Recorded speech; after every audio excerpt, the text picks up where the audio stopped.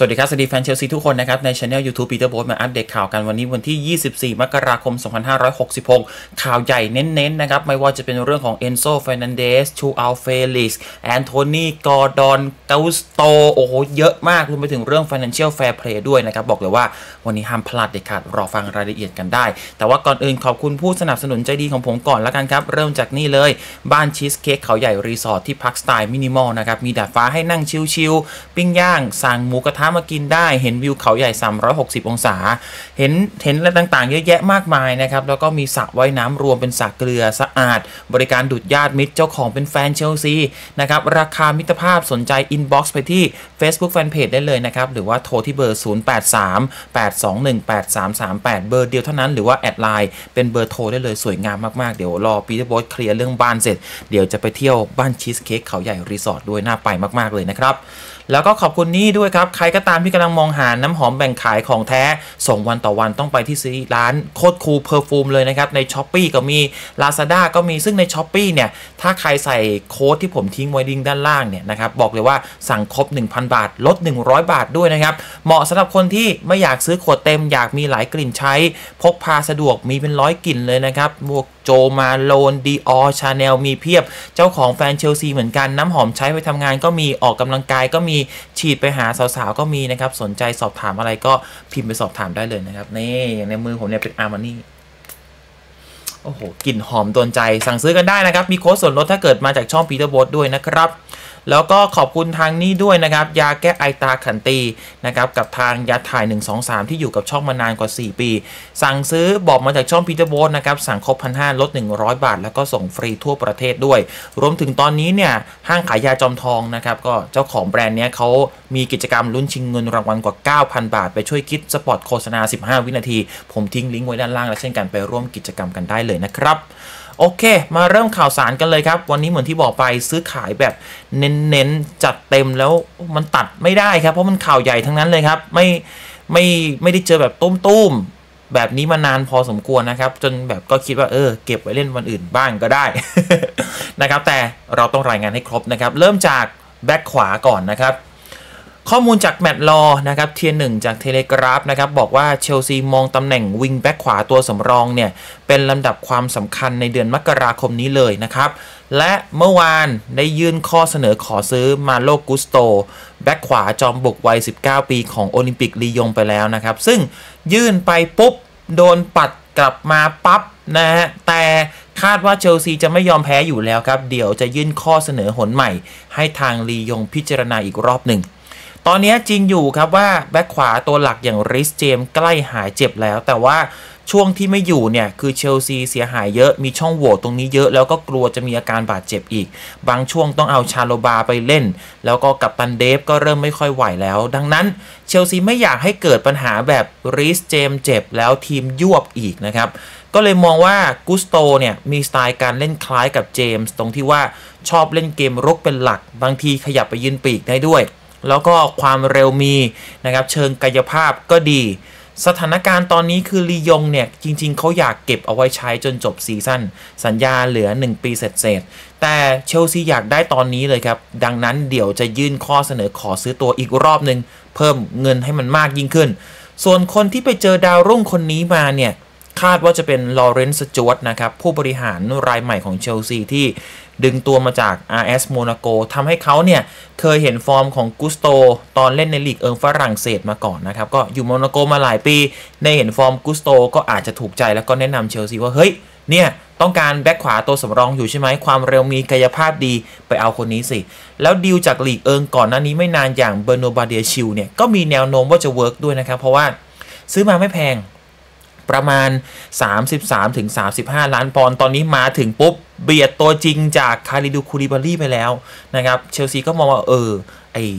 scout ที่ที่เชลซีไปค้นหามาแมวมองคนใหม่ผู้บริหารคนใหม่อย่างลอเรนซ์สจ๊วตเนี่ยเอ้ยสายตาอาจจะถึงก็ได้ ในการเลือกนักเตะจากลีกเอิงก็เลยตอนนี้ให้ความสนใจไปที่มาโลกุสโตนะครับ เดี๋ยวมารอดูกันว่า จะยื่นข้อเสนอจนชนะใจลียงในเดือนมกราคมนี้ได้เลยไหมหรืออาจจะต้องรอช่วงซัมเมอร์เดี๋ยวว่ากันแต่ฟาบริซิโอโรมาโนครับ นักข่าว tier หนึ่งอีกท่านหนึ่งก็ confirm นะ ว่าเชลซีติดต่อกับลียงจริง ๆ ไอ้เงื่อนไขส่วนตัวเนี่ยไม่น่ามีปัญหาครับ บรรลุข้อตกลงระยะยาวกันได้ เรียกง่ายๆ นักเตะมีใจอยากไปเชลซีด้วย แต่ปัญหาตอนนี้คือต้องไปตกลงค่าตัวกับโอลิมปิกลียงให้ได้นะครับต้องเจรจากันต่อไปเพราะว่าลียงอยากจะเก็บไว้รอขายช่วงซัมเมอร์แทนนะครับก็ ไปเช็คข้อมูลมานะครับ เป็นตัวรุกจริง ๆ ครับ เป็นแบ็กจอมบุกเลยนะครับ stat เกมรุกดีมาก แล้วก็อายุเพิ่ง 19 ปี ดูแล้วนักเตะมีใจด้วยนะ ขนาดรู้ว่ามาก็มีโอกาสเป็นสำรองรีซเจมส์สูง แต่มีใจอยากย้ายมา ผมว่าก็น่าเชียร์เหมือนกันนะ คนนี้เออ ถือว่าน่าสนใจขอให้ได้แล้วกัน เพราะว่าแบ็กขวาก็เป็นลำดับความสำคัญที่ก็ควรต้องแก้จริง ๆ เพราะว่าเดี๋ยวซัมเมอร์นี้พี่เดฟหมดสัญญาด้วยใช่ไหมครับ แล้วชาโลบาลึกๆแกก็ยังเป็นเซนเตอร์มากกว่าเป็นแบ็กขวา เพราะฉะนั้น กระบวนการในการหาแบ็กตัวสำรองให้รีซเจมส์เราแค่ขยับให้มันเร็วขึ้นจากซัมเมอร์มาเป็นมกราคม ผมว่าไม่เสียหายนะครับผมว่าไม่เสียหายเชียร์เหมือนกันนะให้เอาแบ็กขวามาสักคนหนึ่ง ทีนี้ครับไอ้เรื่องที่ชวนช็อกมันคือข่าวนี้ครับ ชวนช็อกคือคือเชลซีได้ปีกมาใหม่ 2 คนแล้วถูกไหมก็คือมิไคโลมูดริกกับโนนี่มาดูเอเคนะครับ2 คนนี้ราคารวมกันก็โอ้โหเกือบเกือบ100 ล้านปอนด์เหมือนกันนะ แต่ล่าสุดครับ แมตต์ลอว์บอกว่าเชลซียังสนใจคว้าแอนโทนีกอร์ดอนปีกของเอฟเวอร์ตันเหมือนเดิมนะครับ ได้ปีกมาใหม่ 2 แต่ก็ยังสนใจกอร์ดอนเหมือนเดิม รวมถึงสนใจอีกคนนึงด้วยครับ ของเอฟเวอร์ตันก็คือคนนี้ครับอามาดูโอนาน่าคนนี้เป็นกองกลางตัวรับนะครับ เรียกว่าสนใจดูโอเลยครับ ของทางเอฟเวอร์ตันข่าวบอกว่าสาเหตุที่สนใจถึง 2 คนเพราะว่า เอเวอร์ตันกำลังมีปัญหาทางการเงินนะครับแล้วก็อาจจะต้องขายนักเตะเพื่อประคองทีมเอาไว้กอร์ดอนเนี่ยเคยมีข่าวกับเชลซีตั้งแต่ช่วงซัมเมอร์แต่ว่าตกลงกันไม่ได้ ตอนนั้นแฟรงค์แลมพาร์ดเป็นคนรั้งเอาไว้ล่าสุดป๋าแลมโดนเอเวอร์ตันปลดไปแล้วครับเมื่อคืน แล้วก็มีนิวคาสเซิลที่สนใจเหมือนกัน รวมไปถึงล่าสุดเนี่ย แมตต์ลอว์ confirm ว่ากอร์ดอนยังไม่ได้โดนตัดชื่อออกจากเป้าหมายเชลซีนะ แม้จะเซ็นปีกเข้ามาใหม่เพิ่มเติมถึง 2 คนแล้วก็ตาม เชลซีกำลังพิจารณาจะขอซื้อตัวเอาไว้เลยนะครับ จากนั้นก็มีไอเดียว่าเฮ้ยอยากจะขอซื้อแล้วก็ปล่อยให้เอฟเวอร์ตันใช้งานจนจบซีซั่นก็ได้ เพราะถ้าเกิดมาตอนนี้ทีมก็ค่อนข้างเต็มนะครับ อาจจะซื้อแล้วปล่อยยืมตัวสไตล์จะคล้ายๆกับคริสโตเฟอร์เอ็นคุนคูคริสเตียนพูลิซิชที่ซื้อแล้วปล่อยยืมตัวจนจบซีซั่นอารมณ์ประมาณนี้นะครับ ส่วนดีลของโอนาน่าเนี่ย เอฟเวอร์ตันไม่อยากขายครับ เพราะว่าเพิ่งซื้อมานะครับเพิ่งซื้อมาช่วงซัมเมอร์นี่เอง ไม่อยากขายแม้จะมีปัญหาทางการเงินก็ตาม แต่เชลซีจะลองยื่นข้อเสนอดูเหมือนกันครับ คือตราบใดที่ตลาดยังไม่ปิด เชลซีอยากได้กองกลางสักคนหนึ่งนะครับ แล้วก็คนนี้เป็นกลางรับด้วย เชลซีเคยยื่นซื้อเอนโซเฟร์นานเดสกับมอยเซสไคเซโดไปแล้วแต่โดนปฏิเสธ แต่แมตต์ลอว์บอกเลยนะครับว่าตราบใดที่ตลาดมันยังไม่ปิดยังมองข้ามโอกาสที่เชลซีจะกลับไปคุยกับเอนโซแล้วก็ไคเซโดไม่ได้ พูดง่ายๆ ตอนนี้คือเหมือนกับโอนาน่านะอารมณ์แบบเป็นเป้าหมายแบบ option รอง คือเชลซี step เนี่ยตอนแรกสนใจเอนโซมากที่สุด แต่แพงไปอะก็คือพักดีลไว้ ไปคุยกับไคเซโดก็แพง ไปคุยกับบิสซูม่าสเปอร์สไม่อยากขายนะครับ เชลซีเลยต้องมองหา option อื่นๆ มีสนใจฟรองค์เคสซิเย่ของบาซ่าด้วยนะครับ แล้วก็ล่าสุดมีชื่อของโอนาน่าโผล่เข้ามาอีกคนหนึ่ง อันนี้เป็นเป้าหมายรองๆ แต่ถามว่าเชลซีมีโอกาสกลับไปคุยกับพวกไคเซโดพวกเอนโซที่เป็นเป้าหมายหลักไหมแมตต์ลอว์บอกว่ามองข้ามไม่ได้ แล้วโอ้โห มันดันเกิดขึ้นจริงครับ เรื่องของเอนโซเฟร์นานเดสจุดเริ่มต้นเนี่ย เราต้องให้เครดิตทางฝั่งสื่อโปรตุเกสนะครับ ที่ชื่อว่า Record รายงานลงพาดหัวหนังสือพิมพ์เลยครับ บอกว่าเชลซีกลับไปเจรจาหวังคว้าตัวเอนโซกองกลางของเบนฟิก้าอีกครั้ง หลังจากที่เคยบรรลุข้อตกลงส่วนตัวกับนักเตะมาก่อน แต่บรรลุข้อตกลงกับเบนฟิก้าไม่ได้ เพราะว่าเบนฟิก้าต้องการค่าฉีกสัญญา 120 ล้านยูโรสถานเดียว ปกติสื่อโปรตุเกสเดาทางยากครับ บทจะแบบลือก็ลือจัดๆเลยนะครับ เพื่ออัปเกรดค่าตัวนักเตะ แต่บทจะแม่นก็มีคืออย่าง Record เนี่ย เคยรายงานว่าเชลซียื่นซื้อมาเตอุสนูเนส คนที่ไปอยู่เอฟอยู่อยู่วูล์ฟแฮมป์ตันตอนเนี้ยนะครับ บอกยื่นซื้อไปแล้วสุดท้ายตอนนี้ หายจ้อยนะครับ อยู่กับวูล์ฟแฮมป์ตันไม่พอลิเวอร์พูลจะเอาซัมเมอร์หน้าด้วยนะครับ เพราะฉะนั้นผมถึงบอกว่าสื่อโปรตุเกสเอาแน่นอนไม่ได้ครับ บทจะลือก็ลือสุดๆ แต่บทจะแม่นก็แม่นแบบเอ้าเฮ้ย ดันของจริงว่ะนะครับอย่างเคสตอนดาร์วินนูนเญซกับลิเวอร์พูลเนี่ยสื่อโปรตุเกสแม่น ผมถึงบอกว่าเอาแน่เอานอนไม่ได้ แล้วหนนี้อาจจะแม่นนะครับสำหรับ Record แล้วก็มันไม่ใช่แค่ Record ที่รายงานเจ้าเดียวครับ เพราะว่าช่วงดึกครับเจคอบสไตน์เบิร์กของ The Guardian คนนี้ tier 2 ไม่ได้แม่นเวอร์ แต่ไม่ค่อยรายงานข่าวมั่ว ถือว่าฟังได้ เจคอบสไตน์เบิร์กบอกเลยนะครับว่าเชลซีมีแผนกลับไปล่าเอนโซจริง ๆ จะมีกำหนดเจรจากับเบนฟิก้าใหม่สัปดาห์นี้ และฝั่งเบนฟิก้าก็ยืนกราน ถ้าไม่จ่ายค่าฉีกสัญญาจะเก็บเอนโซไว้ใช้จนจบซีซั่น เชลซีมีเป้าหมายอื่นด้วยนะครับ เช่นไคเซโดยื่นไปแล้ว 55 ล้านปอนด์ก็โดนเขาปฏิเสธกลับมานะครับกำลังพิจารณาอยู่ว่าจะยื่นอีกรอบหรือเปล่า มีอเล็กซิสแม็คอัลลิสเตอร์อีกหนึ่งกองกลางของไบรตันด้วย ขณะที่เดแคลนไรซ์เนี่ยเชลซีจะร่วมลงร่วมวงล่าตัวในช่วงซัมเมอร์เหมือนกัน แต่ว่าตอนนี้ทีมเต็งกลายเป็นอาร์เซนอลไปแล้วนะครับ เพราะฉะนั้น Record confirm ว่าเชลซีจะกลับไปคุยอีกรอบเรื่องเอนโซแล้วก็เจคอบสไตน์เบิร์กก็ confirm ว่าเชลซีจะกลับไปคุยอีกรอบเรื่องเอนโซจริง ๆ นะครับ เพราะฉะนั้นตอนนี้มี 2 เจ้าที่รายงานมา แล้วก็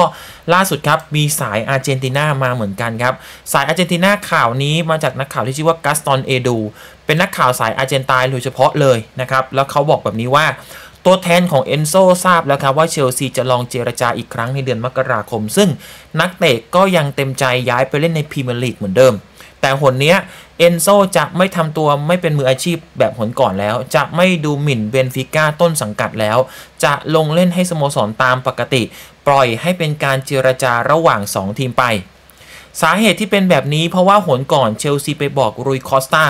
ผู้บริหารนะครับของเบนฟิก้าว่าพร้อมฉีกสัญญา แต่พอยื่นจริงดันยื่นต่ำกว่าค่าฉีกสัญญาเยอะเอนโซก็ออกตัวแรงไปแล้วครับ นึกว่าจะได้ย้ายเลยหนีกับอาร์เจนตินาบ้านเกิด ซึ่งเอนโซก็กลัวว่าจะเกิดเหตุการณ์แบบนั้นอีกหนนี้จะไม่ออกตัวแรงนะครับ ปล่อยให้ทีมเจรจาคุยกันไป อันนี้บอกตามตรงนะครับ โชคดีนะ โชคดีที่เอนโซไม่มองเชลซีแง่ลบนะ เพราะเหมือนหนนั้นไปผิดสัญญากับเขา ไปบอกกับเขาว่าเฮ้ยเดี๋ยวฉีกสัญญา แต่พอคุยจริงไม่ยอมฉีก ผมว่านักเตะบางคนอาจจะโกรธแบบไม่อยากย้ายไปแล้วก็ได้ แต่เอนโซยังดีเขาไม่ได้โกรธเขาก็ยังพร้อมย้ายไปเชลซีพร้อมย้ายไปเล่นในพรีเมียร์ลีกเหมือนเดิม นักเตะอยากเล่นในพรีเมียร์ลีกแต่คนนี้แค่จะไม่ออกตัวแรง ก็ปล่อยให้คุยกันไปนะครับ ซึ่งดูจากทิศทางตอนนี้นะครับ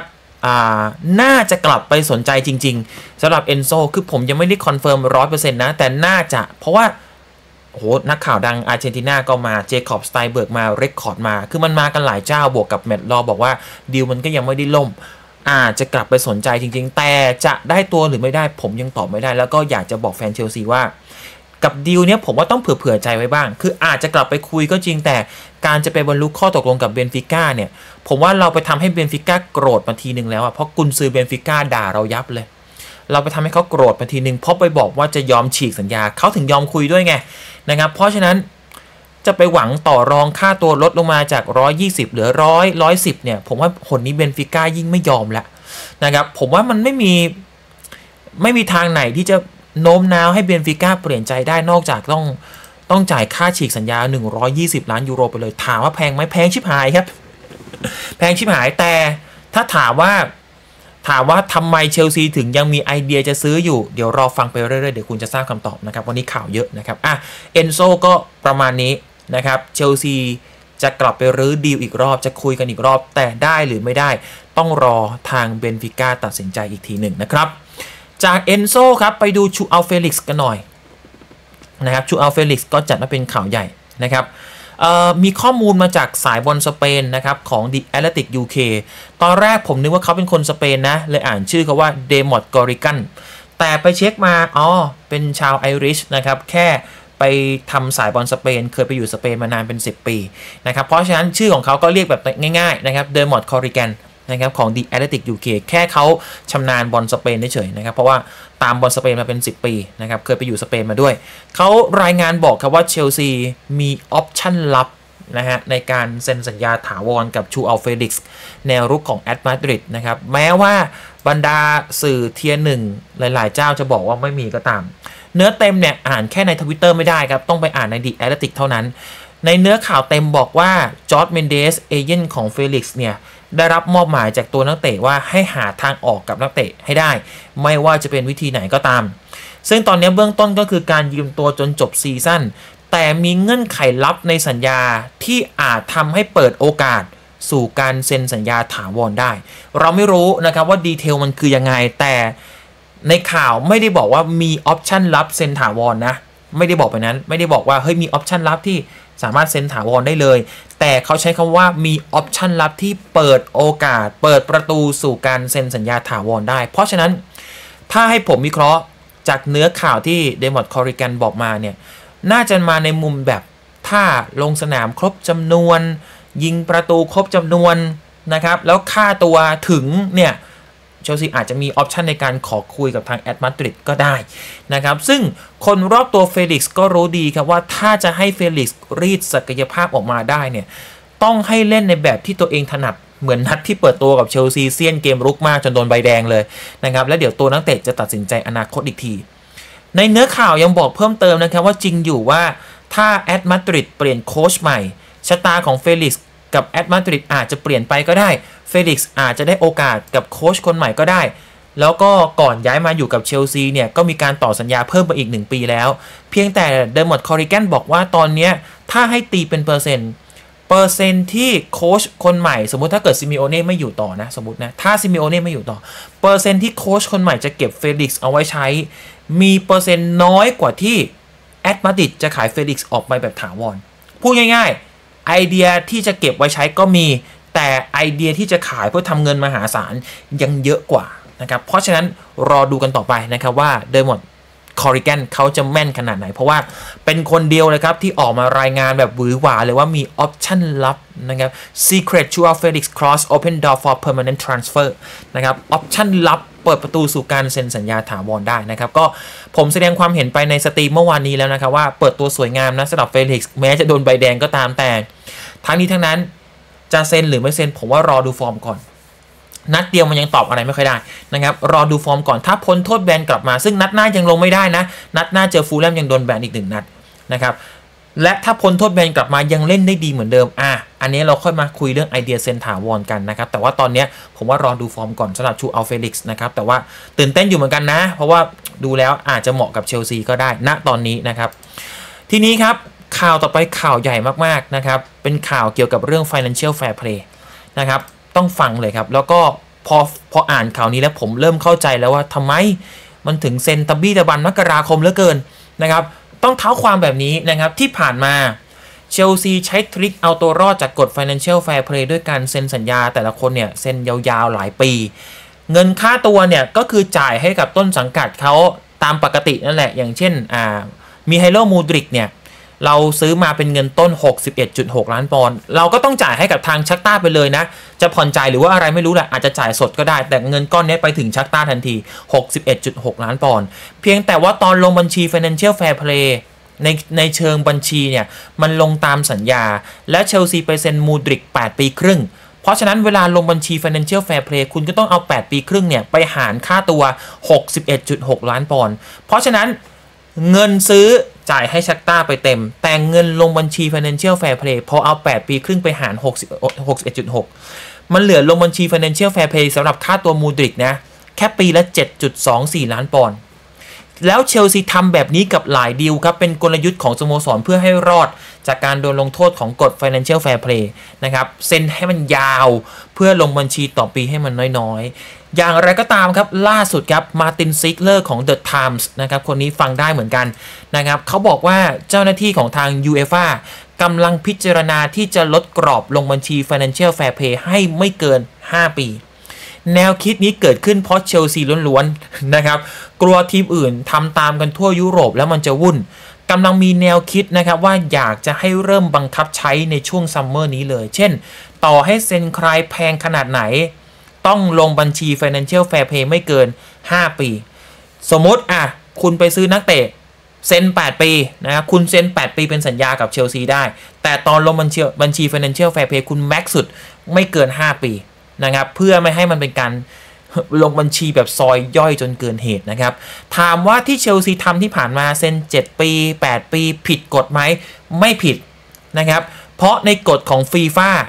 ไม่ได้บอกว่าห้ามทำ แต่ในกฎของฟีฟ่าใช้คำว่าควรมีระยะเวลาไม่เกิน 5 ปีถึงจะเหมาะสม กฎฟีฟ่าใช้คำว่าควรไม่ได้บอกว่าห้ามนะครับ ส่งผลให้สิ่งที่เชลซีทำที่ผ่านมาไม่ได้ผิดอะไร และทางยูเอฟ่าก็แฟร์นะ เขาจะไม่มาลงโทษหรือว่าเล่นงานไปแก้สัญญาเชลซีย้อนหลัง ไอ้พวกที่เซ็นไปแล้วเนี่ย มีไคโลมูดริก เบอนัวต์บาเดียชิล หรือใครก็ตามที่เซ็นไปแล้ว จะไม่ไปลงโทษย้อนหลัง ไม่ไปแก้ย้อนหลัง ลงบัญชี 7-8 ปีไปแล้วก็ตามนั้น ไม่ผิดอะไร แต่ซัมเมอร์นี้ถ้าจะซื้อใครใหม่ มีไอเดียที่จะลดกรอบเวลาให้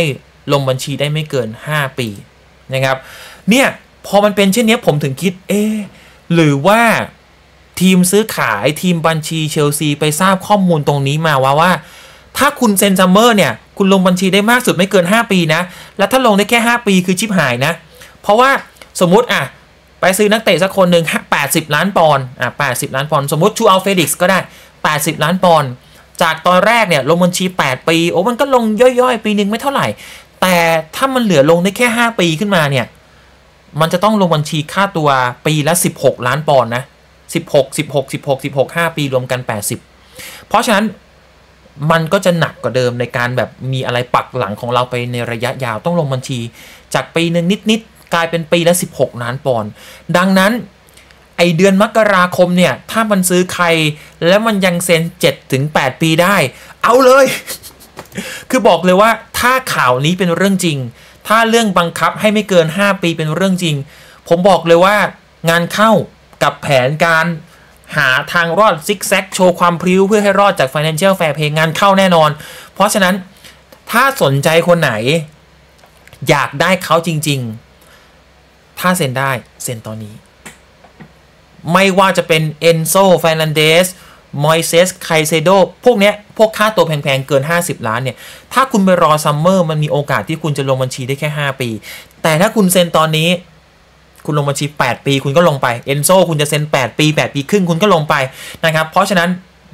นี่อาจจะเป็นเหตุผลหลักที่เชลซีต้องเร่ง แล้วถ้าเกิดจะมีบิ๊กดีลเกิดขึ้นอีกสักดีลหนึ่งก่อนตลาดจะปิดในอีก 1 สัปดาห์เนี่ยมันก็อาจจะเป็นด้วยเหตุผลนี้แหละนะครับ เพราะว่าตอนนี้มันยังเซ็น7-8ปีได้นะครับ นี่ถือว่าเป็นข่าวใหญ่ที่ต้องฟังผมถึงบอกว่าวันนี้ข่าวเปรี้ยงๆเยอะ ปิดท้ายอันนี้ก็ข่าวใหญ่ครับ ลูกพี่ติอาโก้ ซิลวานะครับ มีรายงานจากทอม ร็อดดี้นะครับนักข่าวของ The Times รายงานครับว่าเชลซีเตรียมยื่นสัญญาฉบับใหม่ให้ติอาโก้ ซิลวาอยู่กับเชลซีต่อไปอีก 1 ปี